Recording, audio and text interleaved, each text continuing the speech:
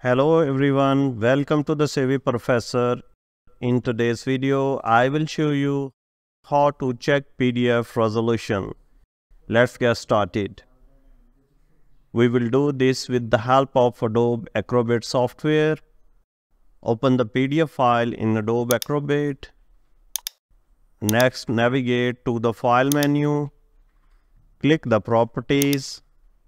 Document Properties dialog box will appear. You will find here full details about this document. In the advanced section, you will see the page size, which is also referred as a resolution.